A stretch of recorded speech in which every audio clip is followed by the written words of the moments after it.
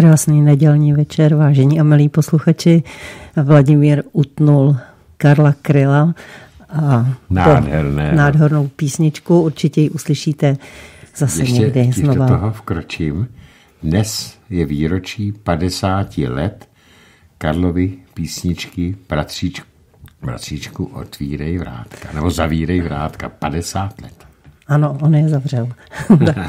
Takže vážení milí posluchači, vítejte u komentovaných zpráv, jak jste slyšeli sami. Vladimír je vedle mě připravený a my se můžeme pustit do informací, které jsou pro vás na dnešní večer připraveny. Je toho hodně, uvidíme, co všechno stačíme probrat. V první části se podíváme do našeho českého prostředí a sice probereme vodu. Protože voda si zaslouží obdiv, úctu a také prý ústavní ochranu. Česká republika má za sebou nejsuší období v novodobé historii Československa. Ministerstvo zemědělství a životního prostředí proto zahájila debatu o možnostech ústavní ochrany vody jako přírodního zdroje. Rezort zemědělství chce také v příštích třech letech podpořit obnovu 1215 rybníků. Voda je strategickou surovinou nejvyššího významu a měla by mít ústavní ochranu, tvrdí šéfové obou rezortů. Voda je v současnosti chráněna stejně jako ostatní přírodní zdroje, tedy třeba písek nebo uhlí. Podle nás má být ale voda zájmem číslo jedna, je nejdůležitějším zdrojem, který musíme chránit pro nás i pro budoucí generace, uvedl ministr zemědělství Miroslav Toman. U příležitosti Světového dne vody. Zakotvení ochrany vody v Ústavě České republiky podporuje i minister životního prostředí Richard Brabec z ANO. Významu vody musí odpovídat i její stupeň ochrany v našich zákonech a ústavní ochrana se tak nabízí jako účinné řešení. Ostatně inspirací nám mohou být moderní ústavy několika západoevropských zemí, které již rostoucí důležitost vody zohledňují, uvedl. Podle ministerstva zemědělství se nedávno objevila ústavní ochrana vody například na Slovensku. Zástupci státu chtějí nyní s odborníky rokovat o tom, jestli by se měla upravovat přímo ústava, zavádět samostatný ústavní zákon, nebo jestli by se ochrana měla řešit ještě nějak jinak. Zavedení ústavní ochrany vody může počítat s podporou poslanců KSČM. Našemu listu, tedy halo zprávy, našemu listu to potvrdili stínoví ministři KSČM pro rezorty zemědělství a životního prostředí Pavel Kováček a Marie Pep Pěnčíková. Ústavní ochrana vody je dlouhodobě i naší programovou prioritou, takže tuto iniciativu samozřejmě vítáme a jsme rádi, že se alespoň na něčem v tomto tématu dokážou ministerstva zemědělství a životního prostředí téměř bez zbytku shodnout, řekl Kováčik. Připomněl, že už při tvorbě programového prohlášení vlády zástupci komunistů prosazovali, aby téma vody mělo jednoho pána. To znamená, aby o všech otázkách týkajících se hospodaření s vodou rozhodovalo Ministerstvo zemědělství a Ministerstvo životního prostředí, aby řešilo pouze ekologické hledisko. Pokud jde o zákonnou úpravu, přivítáme každou, která realitu ochrany vody jako nejvyšší strategické suroviny upevní. Pokud to bude ústavním zákonem, určitě ho budeme chtít nejenom podpořit, ale budeme chtít na něm aktivně pracovat, dodal Kováčik. Rovněž podle Pěnčíkové by voda měla být ústavně chráněná. Posledních pár let se voda opravdu stává zásadním problémem. Myslím si ale, že bychom mohli tu diskuzi rozšířit i na ostatní nerostné bohatství na území státu. To je ve směs v soukromých rukou a diskuze o tom, jestli by nemělo být v majetku státu, je určitě na místě. Každopádně voda je i pro nás prioritou, uvedla stínová ministrině. Fakt, že voda se dostala do soukromých rukou, považují komunističtí zákonodárci za velký problém. Vykoupení zdrojů pitné vody zpět do majetku státu by mělo být jednoznačnou prioritou, protože to usnadňuje celý systém hospodaření s vodou. Dodala Pěnčíková, nevyloučila, že komunisté předloží ještě v tomto volebním období příslušnou novelu zákona. Kováčik souhlasí i se záměrem Ministerstva zemědělství, které chce ve spolupráci se státním podnikem Lesy České republiky v následujících třech letech podpořit rekonstrukci, obnovu, odbahnění nebo stavbu 1215 rybníků nebo malých vodních nádrží. Ministerstvo na to chce dát půl miliardy korun ročně. Připomněl, že ve sněmovně se právě projednává návrh zákona, který usnadňuje výstavbu nebo obnovu malých vodních nádrží za účelem zadržení vody v krajině. Takže ta vize 1215 nádrží je podle něj reálná. Budeme dělat všechno pro to, aby tento způsob zadržování vody v krajině byl také realizován. Neustupujeme však ani od dalších opatření k ochraně vody a zadržování vody v krajině, ať už jde o výstavu přehrad nebo zadržování podílu humusu v půdě prostřednictvím podpory živočišné výroby a dalších věcí, které jsou i v našem programu dlouhodobé. Dodal Kováčik. Podle Brabce má Česká republika republika za sebou pět suchých let, což je nejsuší období v novodobé historii Československa. Loňský rok pak podle něj byl suší než rok 1947. Ten je uváděn jako nejsuší rok, který naši rodiče nebo prarodiče zažili, dodal. Letošní zima podle něj přes zdánlivě bohatou sněhovou nadílku a naplnění vodních nádrží nedokázala překonat sucho v mělkých podzemních vodách, například v Polabí nebo v některých částech Moravy. Ministerstvo zemědělství v posledních čtyřech letech dalo na opatření proti suchu 29,4 miliardy korun, většinou z peněz Evropské unie. Do budoucna plánuje investovat více peněz do zavlažování. To je konec článku Zalo noviny. Vladimíre, já bych jenom k tomu řekla tolik, že já jsem dneska se opravdu ponořila do... Do, do vody? Do, do, ne, ne, ne, ne, ne, ne, nebyla jsem ve Stromovce, ale do hlíny nebo do půdy, abych to nedehonestovala a e, zřela jsem tam něco a opravdu ta půda není dostatečně provlhčená. Musela jsem dokonce i zalévat, takže e, vidím to také jako problém, ale největší problém je ten, že voda je naše. To je naše voda, kterou my jsme velice snadno přenechali prostřednictvím korupčení do rukou eh, různých organizací, většinou francouzů, tím myslím Veolii, kteří se tady hospodaří s naším národním bohatstvím. To je naprosto trestuhodné a zákon o ochraně vody určitě, ale podívejme se, jak o vodě už kdysi Mluvilo i třeba Nestlé o tom, jak by voda měla být drahá. Tady, je, tady se dělá všechno pro to, aby vody bylo málo.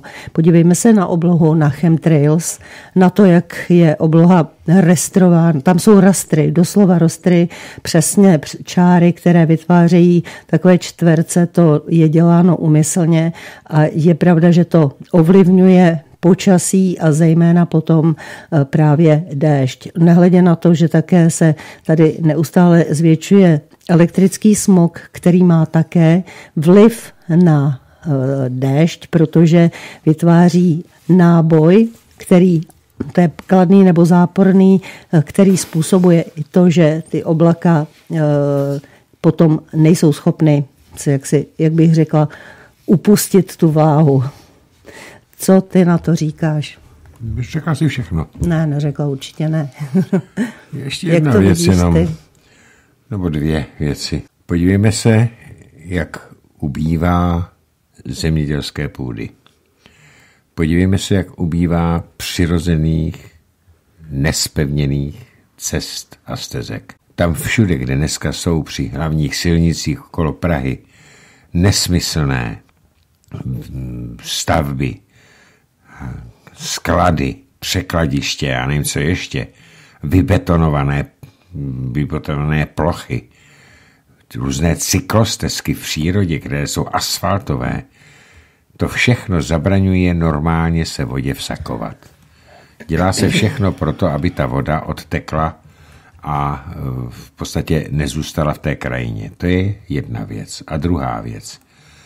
Když jsme se bavili tady s panem e, inženýrem Simonem kdysi o kůrovcové kalamitě, tak on nám tady řekl, a já se s ním zase budu chtít popovídat, o tom, že ten kůrovec, kterým se nebojovalo, do, které se, do, do toho boje se nedávali peníze a zničil miliony, miliony stromů, deseti miliony stromů, tak tím právě zároveň tím odumíráním těch stromů, a to prosím jehličnanů, teda těch smrků, tak my se zbavujeme přírodní zásobárny vody v lese. Hlavně zadržování vody. Protože jeden, eh, například jeden listnatý buk zadrží těmi kořeny a tím kořenovým systémem, tak zadrží v té přírodě, v, té, v tom lese, zadrží asi pět tisíc litrů vody.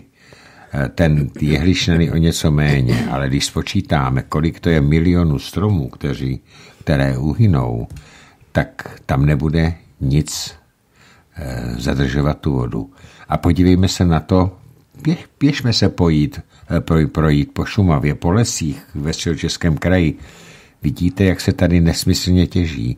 My to tady máme za barákem, jsou tam vytěžené ohromné plochy. Ty plochy vyschnou protože tam nebude nic, co by tu vodu zadržovalo.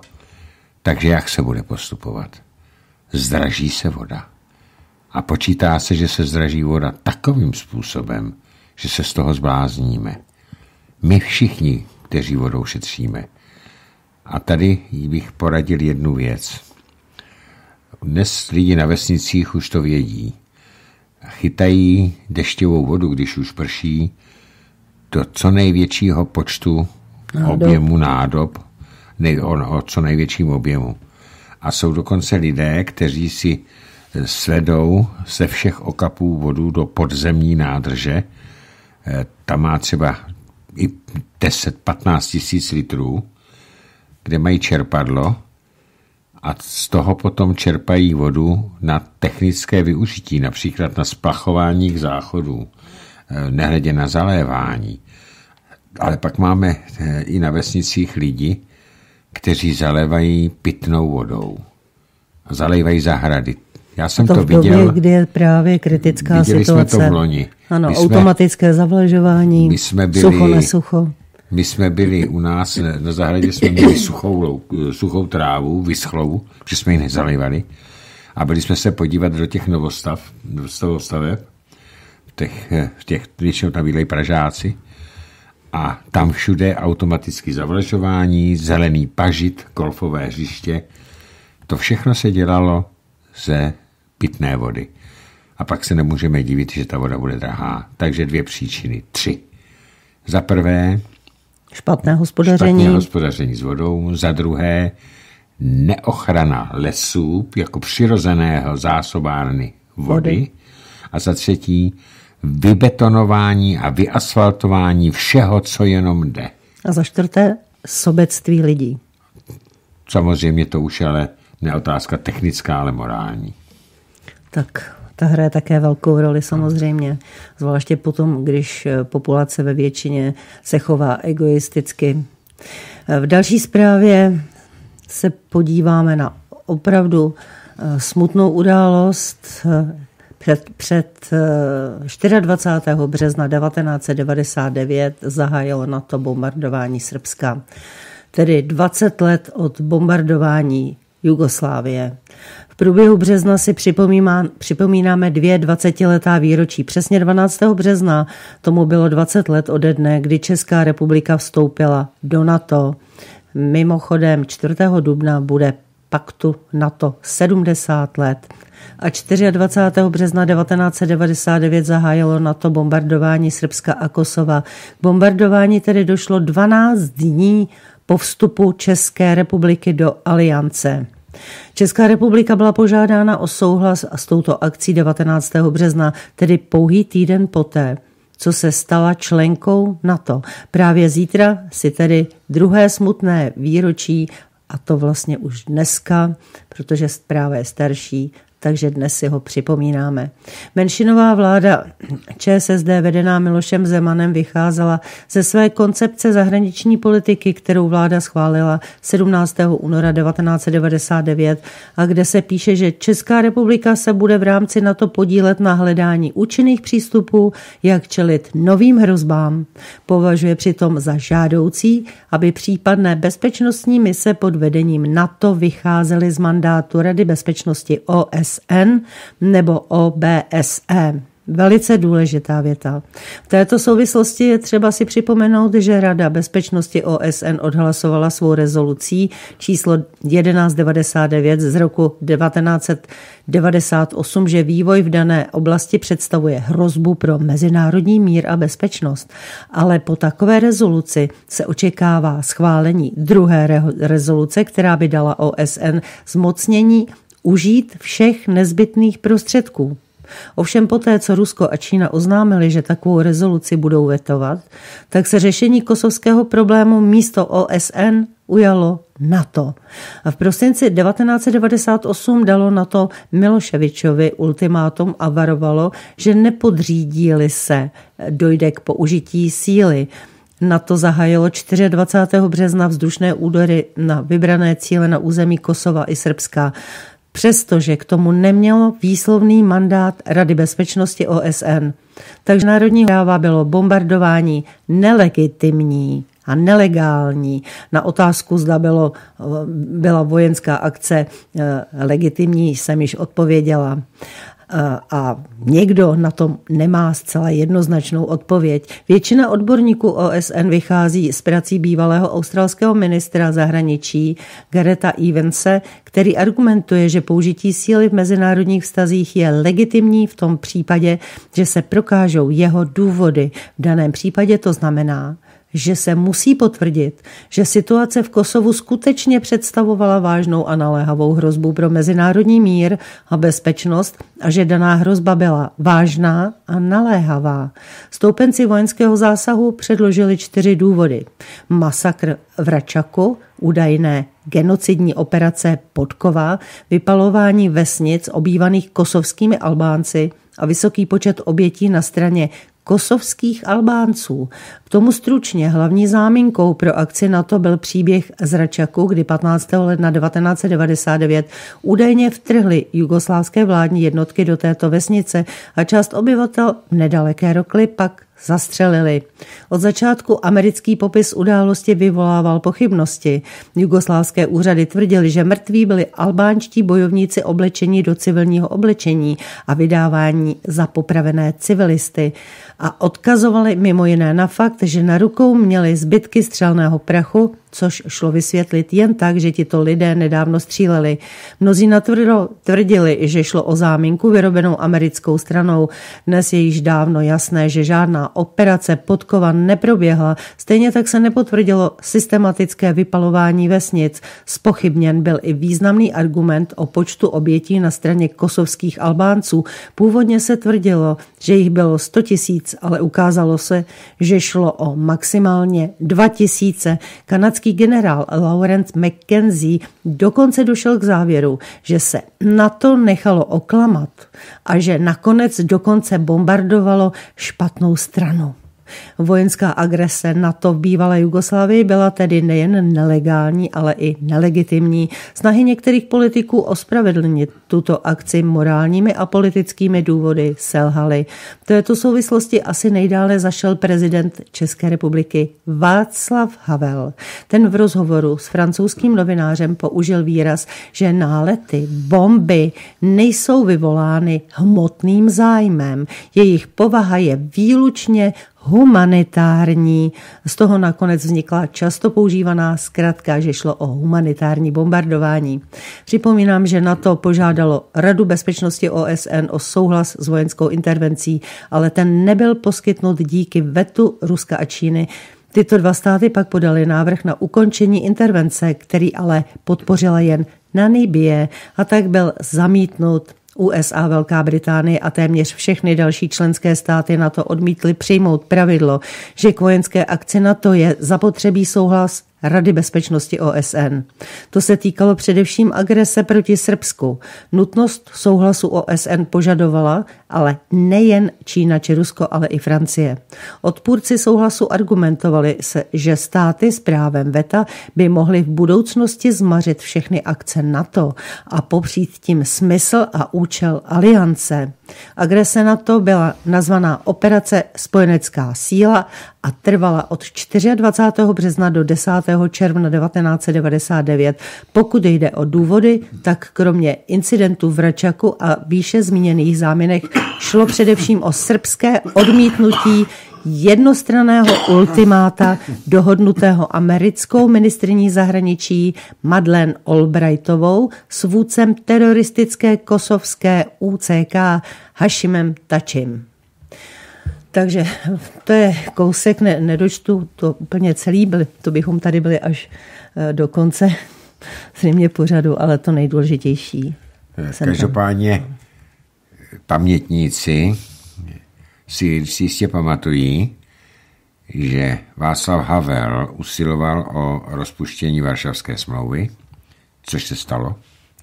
A on potom veřejně v televizním poryvu prohlásil, že tím pádem ztratilo eh, svůj význam existence i na to. A najednou jsme velice rychle, velice rychle, že ani se nevypsalo referendum, nic. Urychleně jsme vstoupili do NATO. No proč? No protože jsme museli být členy NATO a museli jsme povolit přelety bombardérů, které NATO, bombardéry NATO a Američanů, které bombardovali nemocnice, které bombardovali školy, které bombardovali infrastrukturu, mosty, železnici, továrnu, elektrárny, nebombardovali žádné vojenské cíle, protože žádné vojenské cíle neby, neexistovaly. Další věc je dneska všeobecně známo, že masakr v Rakce nebo Race byl vymyšlený. Byli to, Byl to ter- teroristé, Volslek, ano, teroristé z UČK, Hašimatači. Stejně tak se prokázalo, že v Srebrenici, že by měl být masakr, tak jsem tam žádný masakr nekonal, protože velká spousta lidí, kteří tam měli být zmasakrováni, potom šli k volbám. Zkrátka dobře, Jugoslávie musela být zničena a požadavek, aby se dobrovolně vzdala svého území, bytostně jugoslávského území Kosova. Uvědomme si, že tam byly dvě velké, velice důležité pro Srbsko bitvy na Kosovu poli. Nejdřív prorážka, potom vítězství nad Mohamedány. A tuto zemi posvátnou pro každého Srba měli opustit jenom kvůli tomu, aby se k vládě dostal gangster, obchodník s lidskými orgány. Válečný a hlava narkomafie. Tači, jak je vidět, tak asi to byly pro Západ a pro Spojené státy dostatečně velké důvody, aby zničili Jugoslávii a vytvořili si kvůli vlastní velké Eh, základně vojenské v Kosovu tento imbecilní stát. A to byl ne, hlavní záměr. A ještě jinou věc. Řvou neustále západní politici a sluníčkáři, havloidi. Němci. A všichni o anexi Krymu, kde proběhlo ústavní referendum. Jak si zapomněli, že eh, v Kosovu žádné referendum nebylo. Tam se to vyhlásilo a ten náš Schlaffenberg byl první minister zahraničí Evropské unie, který to uznal. Ano. Tak aspoň vidíme, co jsme měli Do za politiky neuznalo Kosovo více států. Ano. Co vím, tak to státy, které uznaly Kosovo, těch je, myslím, 108. Podíváme se ještě na nebojové ztráty e, do Jugoslávie. E, oficiálním důvodem pro zahájení operace byla ochrana ochrana albánského Kosova před etnickými čistkami a humanitární katastrofou. Západ tím reagoval na operace srbské policie a armády proti kosovské osvobozenecké armádě, kterou Srbsku považovali za teroristickou. K letu 1998 obsadila tato armáda téměř 40% území Kosova a bojovala proti srbským okupantům. Agrese NATO proti Jugoslávii trvala, jak jsem ji říkala, od 24. března do 10. června 1999 a byla to druhá největší operace aliance v zahraničí po bombardování Srbské republiky v roce 1995. Za hlavní cíl bombardování byly vyhlášeny vojenské objekty. Nálety však bylo zničeno 25 tisíc obytných budov, poškozeno 470 kilometrů silnic a 595 kilometrů železnic, zničeno 38 mostů, bylo poškozeno 14 letišť, téměř 40 nemocnic a zdravotních středisek, téměř 100 škol a školek, 176 kulturních památek. Podle srbských odhadů mělo 38% objektů vystavených bombardování civilní využití. Symbolem utrpení srbského lidu se stala tříletá Milica Rakičová. Do bytu, ve kterém žila s rodiči, se dostal úlomek střely na to. Zachránit holčičku se nepodařilo.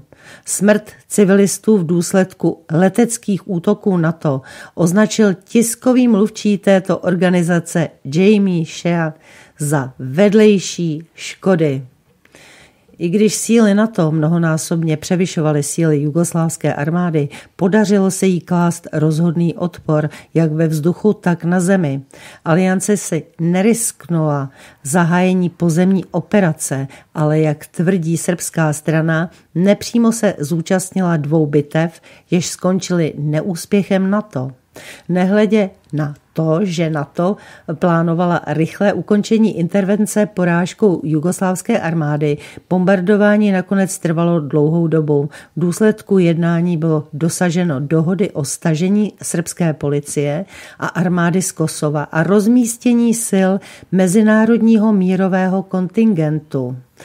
KFOR, jak se nazývá eh, tato, tento kontingent, eh, slíbila, že se bude věnovat odzbrojení albánských teroristů z osvobozenecké armády. Rezoluce číslo 1244 Rady bezpečnosti OSN zase stanovila zachování Kosova ve složení Jugoslávie. Nehledě na slíbenou demilitarizaci teroristů z osvobozenecké armády založilo Kosovo vlastní obraný sbor a pak bezpečnostní síly. V roce 2018 byla založena armáda.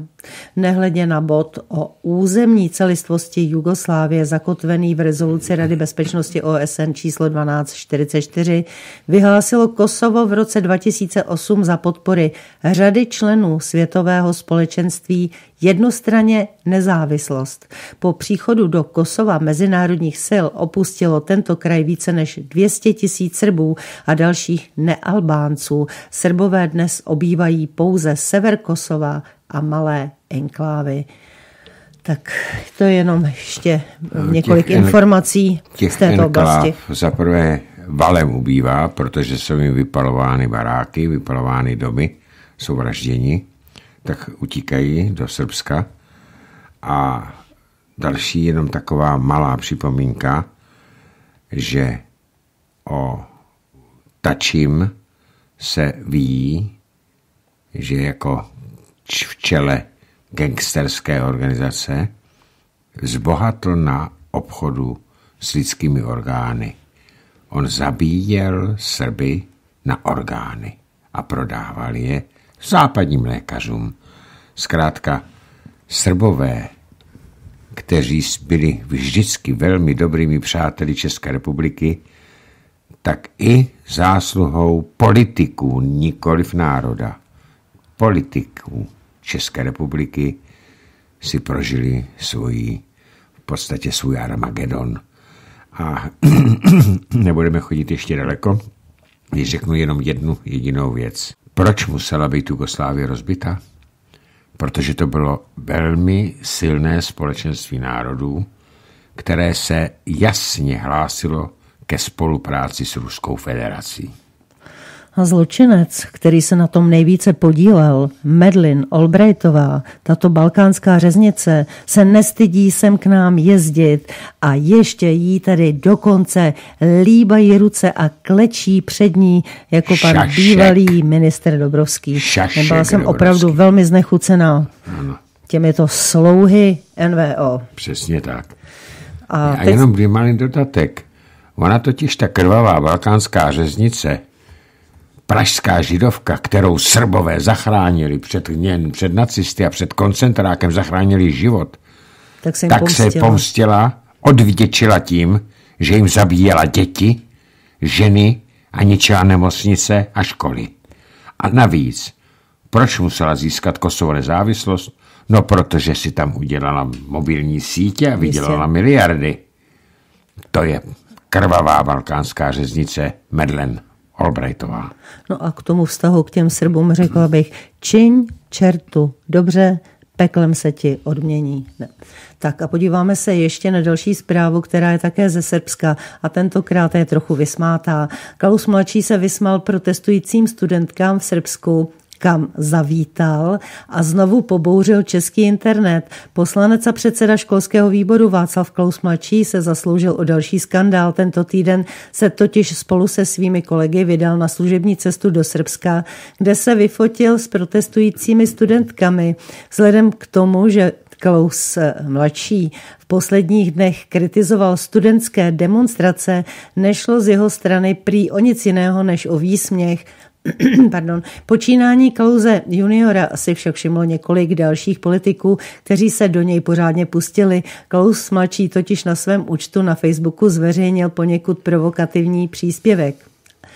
Píše v něm, je škoda, že když udělám něco pokrokového, nikdo to neocení. Třeba včera jsem se vyfotil na Friday for Future v Novém sadu s protestujícími děvčaty. Bylo jich tak asi osm celkem. Stojí v samotném začátku jeho příspěvku. To jsou právě ty ekologické pátky, kdy studentky místo, aby, nebo studenti místo, aby se učili, tak chodí po ulicích s nesmyslnými plakáty. Chudinky ochotně se vyfotili s anglicky mluvícím, neumím srbsky, podivným strejdou a netuší, že je za to vyloučí z protiklimatického hnutí. Klauzovo jednání však nezůstalo bez komentáře. Na sociálních sítích ho kritizovali například sociální demokrat Sklenář a pak ještě i další takže Václav Klaus si už nemůže ani udělat legraci, aniž by byl ostrakizován. Tady ty demonstrace za zachraňte klimaty, klima na zemi, tak to je jenom v Evropě zástupný problém. Oni totiž ty děti, které zbrbly ve škole, zaprvé nemusí dojít na vyučování. Já si pamatuju, když jsem chodil já do školy a měli jsme nějakou třeba jel Brežněv a my jsme ho museli vítat s praporkama, tak mě to vůbec nevadilo, aspoň jsme se naučili. Pak jsme šli domů, nebo jsme utekli. To je jedna věc. A druhá věc, aby náhodou ty děti nezačaly přemýšlet, co se to s tou Evropou děje. Já se domnívám, že dříve, než by byla Evropa zničena klimatem, tak bude zničena islámem. A to je mnohem a mnohem bližší Reálnější. a větší nebezpečí. Reálnější. Tak podíváme se na Brexit a na to, jak se pod Terezou Mayovou houpe křeslo. Britský list The Sunday Times napsal, že premiérka Tereza Mayová čelí ve svém kabinetu rostoucím rostoucímu tlaku, aby kvůli situaci kolem Brexitu rezignovala. Řada ministrů nicméně tvrzení popřela a vyjádřila Mayové podporu. Mayová získala ve čtvrtek v Bruselu na samitu EU odklad Brexitu při nejmenším do 12. dubna. Není však jisté, zda v příštích dnech přesvědčí poslance k podpoře hotové dohody s Evropskou unii, kterou předtím už dvakrát odmítli. V opačném případě hrozí Británii neřízený Brexit. Tlak na vyhlášení druhého referenda ze strany odpůrců Brexitu mezi tím v Británii Británii nadále roste. V sobotu v Londýně za vyhlášení nového referenda o Brexitu demonstrovali tisíce lidí, zatímco online petice za druhé hlasování pozbírala více než 5 milionů podpisů. Ministr financí Philip Haymond dnes v rozhovoru pro televizi Sky News řekl, že by si druhé brexitové referendum zasloužilo zvážení. Zároveň uvedl, že si není jist, zda by opakování věřil podporu parlament. List do Sunday Times dnes napsal, že Mayová čelí vzpouře uvnitř vlastního kabinetu s tím, že celkem 11 jeho členů žádá její odstoupení a jmenování nového přechodného šéfa vlády. Podle reportéra Tima Chipmana chtějí Ministři nespokojení s tím, jak Mayová řídí proces vystoupení Británie z Evropské unie, premiérku konfrontovat na pondělním zasedání vlády a pohrozit rezignacemi, pokud jim neslíbí, že se svého postu vzdá. Tyto úvahy ale dnes popřeli minister financí Philip Haymond, šéf úřadu vlády David Lidington či minister životního prostředí Michael Gove. Ne, nemyslím si, že je tomu tak. Není to o premiérce. Výměna premiérů by nám nepomohla, řekl Heymond serveru Sky News. Hovořit o výměně hráčů, kteří jsou na hřišti, je v tuto chvíli upřímně řečeno zbytečný přepich, dodal. Popřel také spekulace, že by si údajně přál, aby Mayovou vystřídal jako dočasný premiér její faktický zástupce Lidington. Ten podle agentury Reuters prohlásil, že nemá ambici vystřídat Mayovou ani čas kout pikle proti premiérce. Podobně minister životního prostředí Gove řekl, že premiérka má jeho plnou podporu a doplnil, že nastal čas, aby se chladné hlavy soustředily na to, aby parlament konečně schválil brexitovou dohodu. Tak já tady skončím ten článek a pak se podíváme ještě, jak to vnímá Evropská unie a konkrétně Merklová. No, tak než to, než to budeš číst to, co říká Merklová, tak já řeknu, jak to vidím já. Evropská unie má šílený bobky z toho, že po Velké Británii by mohla odejít e, další země z Evropské unie, hovoří se o Finsku, kde je velká nespokojenost, hovoří se o Itálii, ale i o dalších zemích. A proto, aby to co nejvíc stížilo, tak Evropská komise dala Velké Británie tak nesmyslné finanční požadavky, tak nesmyslně vysoké eh, částky, aby zaplatila. To je ten tvrdý Brexit, že chtějí zastrašit Velkou Británii, stejně jako ostatní státy, aby odešli. Aby se jim ta Evropská unie, ten zlatý tele nezroutilo.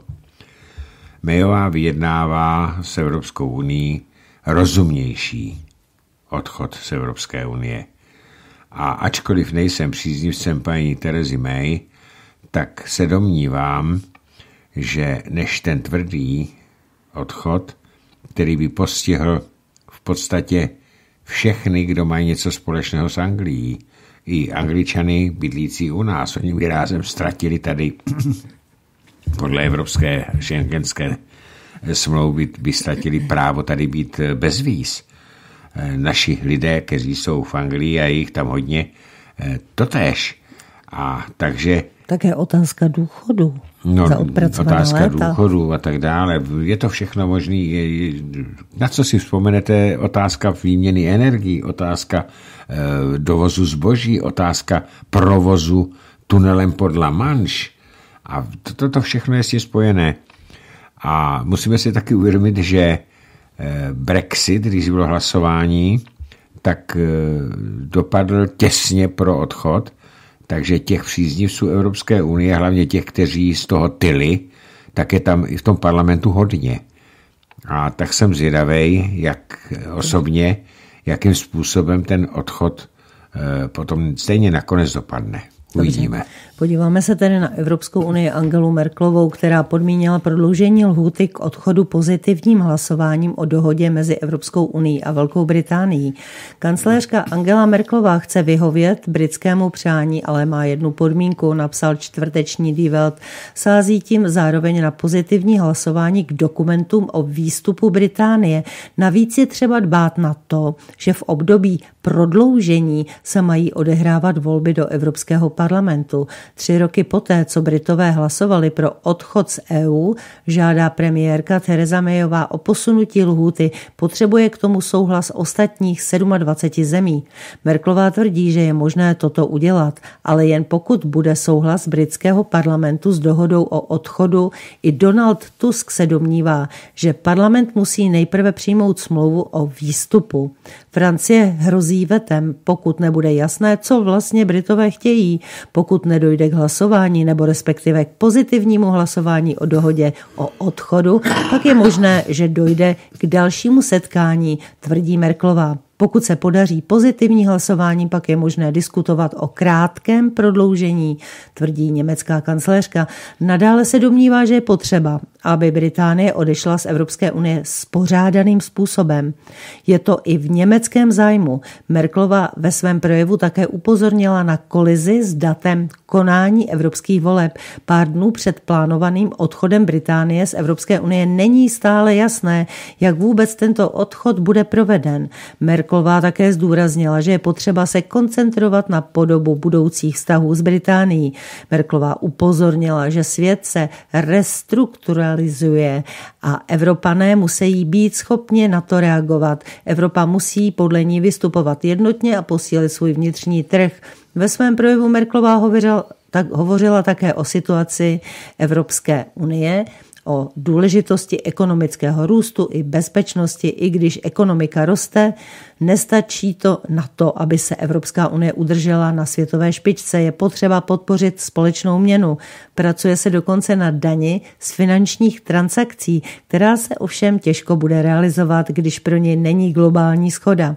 Kancléřka poděkovala ministru financí za to, že se snaží o prosazení této daně. Rovněž Merklová tvrdí, že euro je základem společné průmyslové politiky. Silné euro je prý to, když Evropa bude vystupovat společně, je potřeba také realizovat bankovní unii, ale znovu zopakovala, že nejdříve je potřeba odbourat riziko, jinak se nemůže dělit, čímž ukázala na odlišné zadlužení bank i zemí. Na závěr kancléřka zdůraznila, že Evropa musí při průmyslovém rozvoji dohánět. Ukázala na konkurenty Čínu a USA. Evropská unie není světovou špičkou. Evropská unie potřebuje mít velké hráče, proto se musí upravit pravidla, aby bylo možné vytvořit takové velké globální firmy. Tak Merklová také chce větší flexibilitu v německé exportní politice týkající se zbraní. Evropa si musí své zbraňové systémy vyvíjet sama.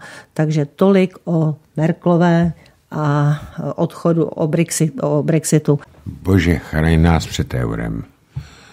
Bankovní unie, víte, co by to znamenalo? Podívejte se, když byla poslední ekonomická krize v roce 2008-2009, tak eh, naše české banky sanovaly západoevropské matky.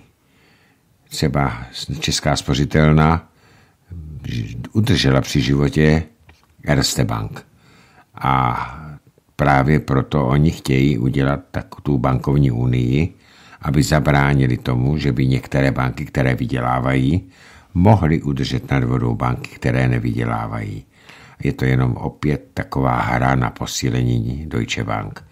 A euro, co znamená, to je euroval, tedy ohromné peníze, které se posílají do Řecka. Ale Oni to nejsou peníze pro Řecko. Těma řekama to jenom proteče do německých, eh, do německých eh, důchodových fondů, aby se němečtí měli němečtí důchodci líp, protože oni mají nakoupené řecké státní obligace, ty německé fondy.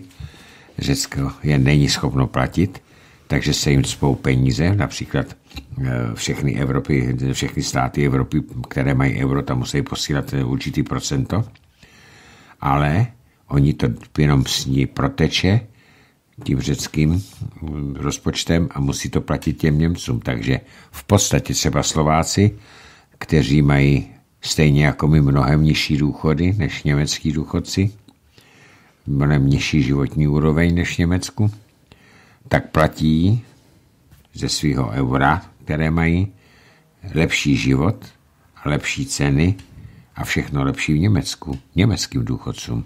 To je potřeba si taky uvědomit. A další věc. Podle evropských norem i dnes jsou ještě evropští, eh, angličtí nebo britští poslanci, europoslanci ve funkcích. A teď si představte, že by ten Brexit se posunul až za volby do Evropského parlamentu, ale tam by museli jít i noví, eh, noví britští poslanci, protože by stále ještě Británie byla členem Evropské unie. No, ale pokud Británie nepřispívá do společného rozpočtu, tak tam nemůže mít ani své poslance. Oni taky na to nemají zájem, že jo? Tak a teď se podíváme v další zprávě na věc, která se týká našich peněženek a všech automobilistů. OPEC a Rusko budou pokračovat ve škrtek produkce ropy. Kartel se svými spojenci uvádí, že iránské a venezuelské dodávky se nesnížily natolik, aby ospravedlnili změnu politiky. OPEC a jeho spojenci, především Rusko, se dohodli, že budou pokračovat ve snižování ropné produkce. Saudská Arábie byla připravena vyhovět americké žádosti a navýšit ropnou produkci v souvislosti s americkými sankcemi proti Iránu. Jenže pak přišly výjimky pro klíčové dovozce ropy z Iránu, což znamená pro Čínu, Indii a Turecko. Proto se Saudská Arábie a Rusko rozhodli svolat schůzku zemí OPEC, i těch, které s kartelem spolupracují, aby narovnali nerovnováhu na trhu. Uskupení OPEC Plus se rozhodlo z trhu dostat 1,2 desetiny milionu barelů v prvním pololetí roku 2019. USA nyní sankcionují venezuelský ropný sektor jako další formu nátlaku na prezidenta Nikolase Madura. Venezuelská opozice jmenovala své předsednictvo pro firmu Citgo, což je ceřiná firma venezuelské státní PDVSA, která operuje v USA. Jenže poslední schůzky OPEC Plus se za Venezuelu účastnil zástupce jmenovaný Madurem. Dohodnuto bylo nejen prodloužení škrtů produkce, ale také zrušení dubnové schůzky. Takže to je zajímavé. Venezuela se účastní těchto schůzek OPEC+. Plus. No tak eh, OPEC znamená státy vyvážejí, těžící a vyvážející ropu a Venezuela mezi ty státy patří. Samozřejmě. A i když eh, sankce... ten spolek založili především arabské státy, až teprve posléze tam přijali eh, státy mimo arabské. Ale co tohle, to, co si četla, znamená? No samozřejmě poleze cena benzínu a nafty nahoru. Protože jestliže se bude snižovat výroba, bude, bude větší poptávka a tím pádem budou vyšší ceny.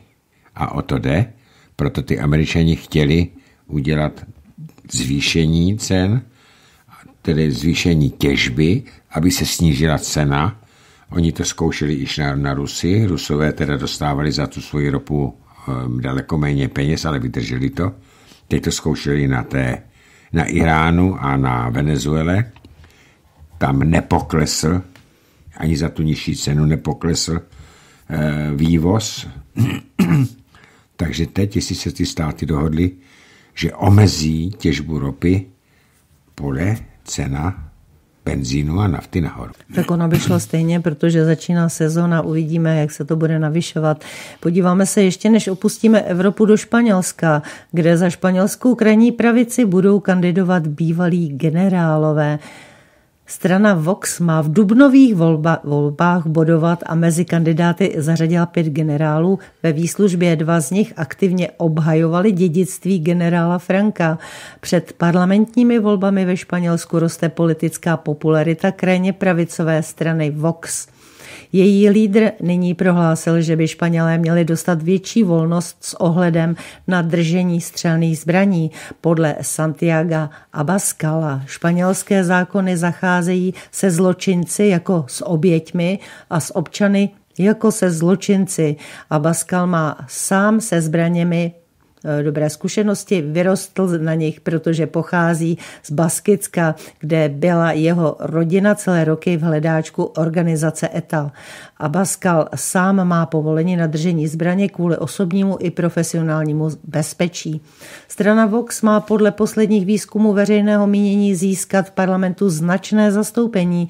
Volby se mají konat 28. dubna letošního roku a strana během minulého týdne už zařadila na svoji kandidátku kandidátní listinu celkem pět bývalých generálů španělské armády.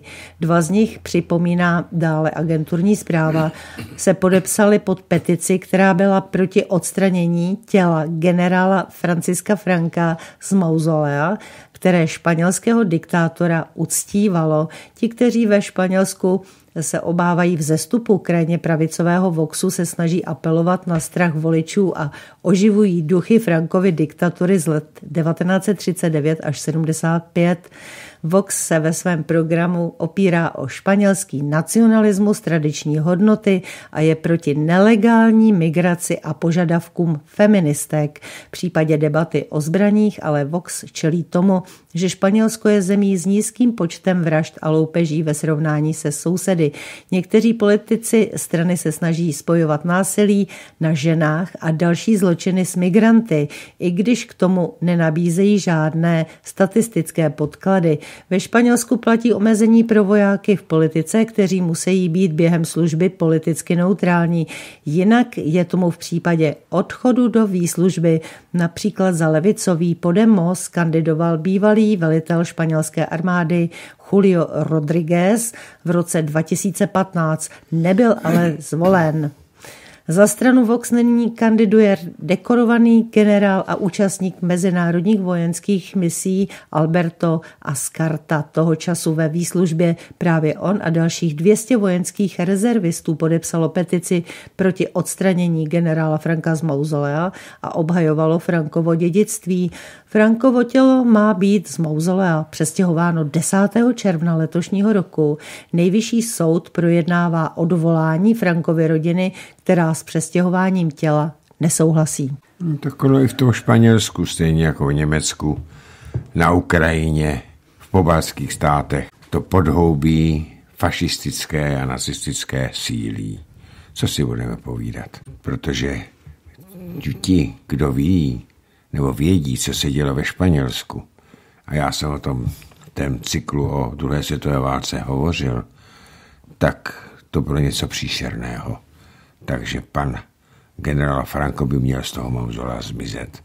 A jestli ti vojáci proti tomu protestují, tak jsou to fašouni. Tak oni tvrdí, že eh, brání takové ty eh, hodnoty konzervativní, ale jestli je konzervativní hodnotou právě fašistického diktátora. Diktátor Franco. Na druhou stranu souhlasím s tím, že oni říkají, že by tam mělo být volnější držení zbraní. To, to souhlasím. A také nesouhlasí s feminismem. A to taky nesouhlasím. Takže tam bychom se možná v tomhle průsečíku asi s nima shodli, ale jinak no, je to takové kách.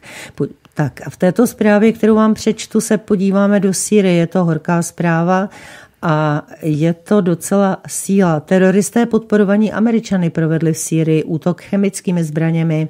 Celkem 20 osob nebo dokonce tady 21 osob bylo převezeno do nemocnice v syrském městě Saklabia po ostřelování tohoto města ze strany teroristů podporovaných Spojenými státy k ošetření po zásažení chemickými zbraněmi. O chemickém útoku teroristů informuje agentura SANA. Všichni poškození měli příznaky otravy bojovým plynem. Upřesňuje se, že teroristé odpálili směrem k městu několik raket. Do nemocnice ve městě Saklabia bylo dopraveno 21 osob, jak zdůrazňuje syrský spravodajský portál s odkazem na korespondenta. Ředitel nemocnice potvrdil, že pacienti se dusili následkem vdechnutí jedovatého plynu po ostřelování města raketami ze strany teroristických skupin. Teroristé pravidelně pravidelně ostřelují z minometů a raketami obce na severu provincií Hama a v horské Latáky. Teroristé často používají náboje obsahující jedovaté látky. Například v listopadu během ostřelování Alepa dostalo kolem 65 lidí chemickou lézi následkem použití nábojů s chlorem. Tak, tak to vypadá. Tak jsem nedávno slyšel, Syrii. američani Budu vykřikovali, číst. Ano. Že islámský stát je poražen a hledali jenom, kde je Bagdády. Ovšem tohle není islámský stát, to jsou teroristé. No a tak je v tom rozdíl. To jsou ti američtí teroristé. Já vím, jak je v tom rozdíl, když podporují američani tyhle ty teroristy, které stejně tak jako podporovali islámský stát. Tak eh, v tom žádný rozdíl nevidím. Ale tady to jasně vypovídá o tom, jak ty keci předešlé těch bílých přilep, že používá chemické zbraně Bashar Assad, takže byli vymyslem, protože to používají tyhle ty teroristi. A jako obvykle jsou placení spojenými státy. Tak ovšem islámský stát byl zničen už prý 15krát. Ano, ano, ano, byl zničen, vyhlásili to generálové američtí, ale furt tam dodávají zbraně a materiál těmto teroristům, snad je to ta umírněná opozice. Avšak Spojené státy ví, kde se skrývají poslední členové islámského státu po porážce, o které informovali kurdové mezi migranty. Syrské demokratické síly SDF, které převážně tvoří kurčtí bojovníci, v sobotu ohlásili konečné vítězství na it, nad islámským státem v Syrii. Dříve v pátek mluvčí Bílého domu Sarah Sanders novinářům uvedla, že islámský stát byl v Syrii zcela zničen, ale Spojené státy také uvedly, že teroristé jsou mezi uprchlíky v táborech, které právě Spojené státy kontrolují. Vyženou tyto lidi mezi migranty do Evropy, toť otázka. Baghus byl osvobozen. Dosáhli jsme vojenského vítězství nad Dajíšem, napsal mluvčí SDF Mustafa Bali na Twitteru. SDF svádějí boje o město Baghus na syrsko-irácké hranici již, již několik týdnů. Dříve mluvčí Bílého domu Sarah Sanders oznámila, že to se tady opakuje, byl na území Syrie stoprocentně dajíž zničen. Syrský velvyslanec v OSN označil prohlášení o americkém vítězství nad islámským státem za hoax. Ve středu americký vůdce Donald John Trump uvedl, že poslední enkláva islámského státu bude přes noc zničena, avšak DJ Trump o totálním zničení islámského státu neinformoval prvně, takže to vypadá spíše na idiotské kvákání blba. SDF za podpory mezinárodní koalice pod vedením Spojených států vedou bojové operace proti zbytku islámského státu. Syrská média přitom upozorňovala, že nálety koalice mají na svědomí velké tvrdí, že US a, a jejich spojenci používají bílý fosfor, což je použití chemických zbraní. Chalifát teroristické organizace Islámský stát byl rozdrcen, ale teroristé se ukrývají v táborech pro dočasně vysídlené osoby a v odlehlých oblastech. V sobotu to oznámil velitel koaličních sil v čele eh, Spojených států generál plukovník Paul La Camera. Z těchto táborů se rekrutují migranti, kteří provádějí invazi do Evropy. Dorazí tedy do Evropy vrazy, aby nás povraždili. Nenechte se mílit, islámský stát si zachovává svou sílu.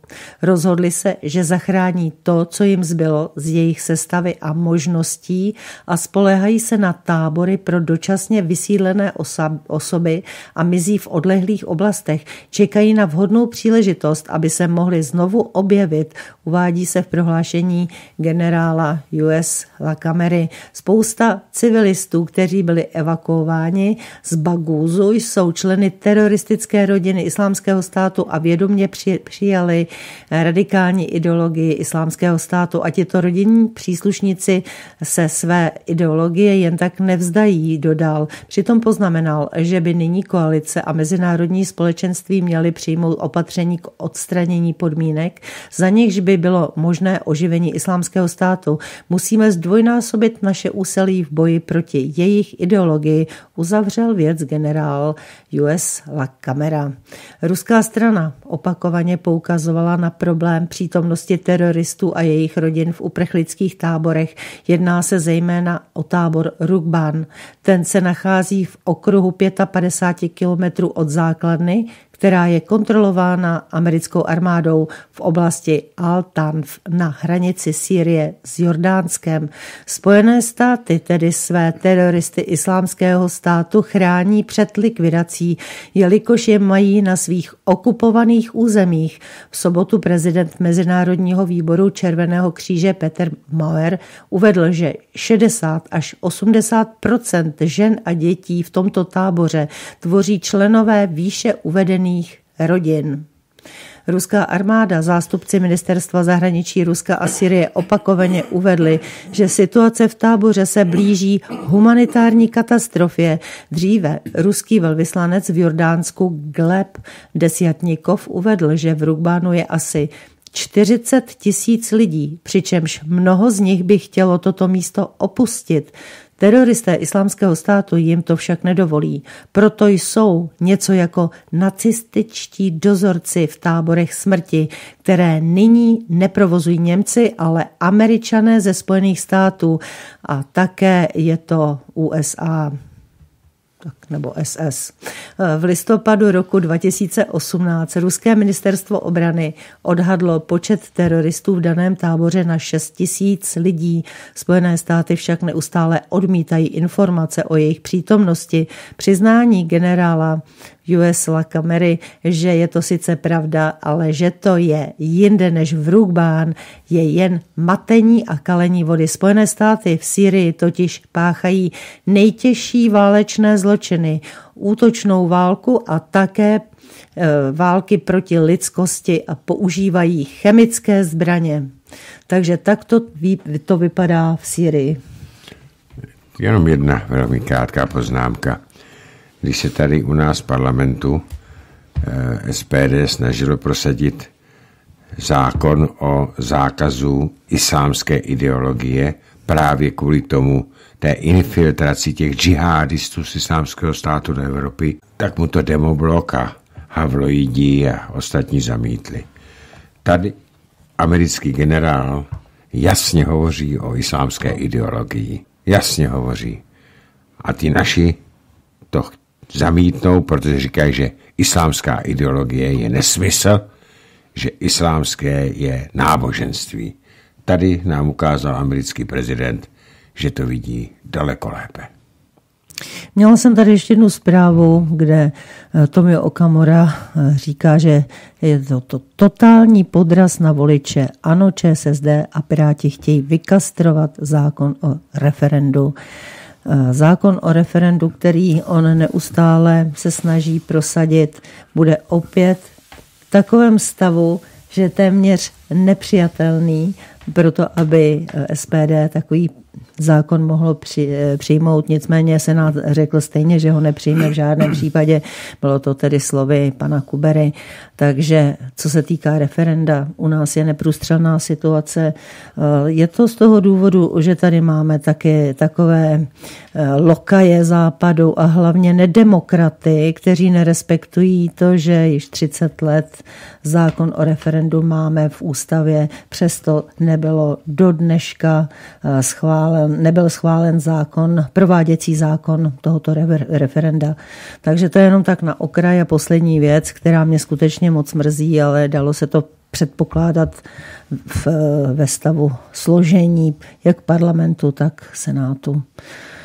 Vážení a milí posluchači, nevím, jestli Vladimír k tomu ještě chce nic říct, tady kroutí hlavou, že ne, ne, e, e. Dobře, takže ne. E.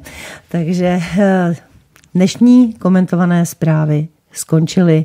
My se s vámi loučíme, přejeme vám příjemný zbytek dnešního dne a zároveň vás zvu na výjimečné bleskové zprávy eh, od Terezy Spencerové, které jsou pro vás připraveny a také velice, skutečně velice zajímavý článek od pana Petra Žantovského.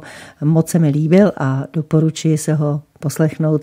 No a to je ode mě všechno a já se s vámi loučím. Přeji vám, aby tento víkend, tedy těch pár hodin, byl bezproblémový a zároveň i příští týden, aby se vám vyvedl a v pondělí nezapomeňte vykročit tou správnou nohou.